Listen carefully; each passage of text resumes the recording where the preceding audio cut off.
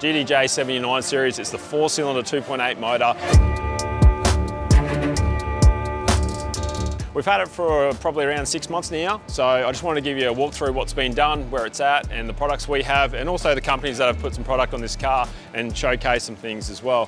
So we'll start by, it's got a 4.2 GVM upgrade by Jmacx. Um, it's got their full kit in it. This is still leaf spring rear, so it's got the ride and track in it with a different diff housing. Um, it rides sensational, this car.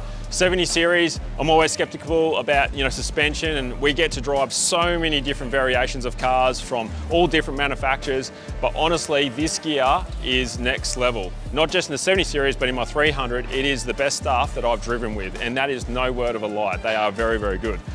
Buffalo did a tray for us, beautiful looking tray. You know, it's color coded, uh, boxes, works really well. The boys there did an awesome job there. We're really happy with it all sorts, got us some methods for this thing. You know, Roscoe and the team down there do an awesome job. Um, you know, always help us out with wheels and anything we needed. They're really, really great company to work with. Um, coming over to the rest of the stuff that we've done, we've got a FATZ bar on the front. Uh, the boys at FATZ did this bar. Um, they also did the side steps on it, so you'll see bush rails there. This bar itself, um, they had this for a little bit of time to design and make it work. I like these bars. They're definitely very robust. They've got a lot of the good angles working.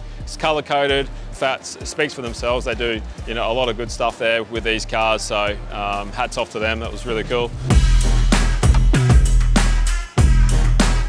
Stepping into more the engine bay, so we have fully developed our multi-mapping for this car, so it's on the cruise control. There's heaps of videos on that.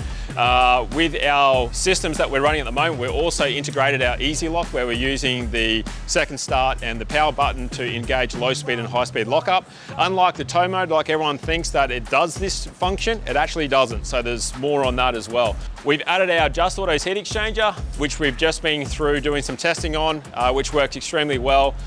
The heat exchanger is quite a large volume heat exchanger because these are a water to air intercooler system. So we're adding a larger heat exchanger here. Um, also matching that with our Just Autos airbox.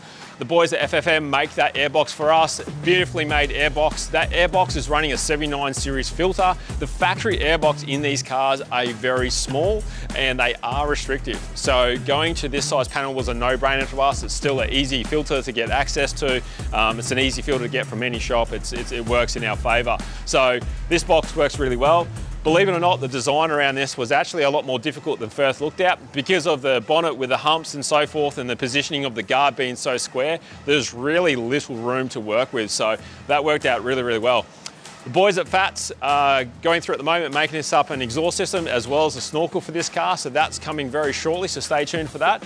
But as of now, this car drives amazing, really, really happy with it. Um, I think the four cylinders will definitely be a game changer in our industries with the 70 series. I think the more people that drive these cars will realise how good they drive and they are very comparable against the V8, if not better. Anyway, if you want any more information, inquiries about any of this stuff, please contact our guys.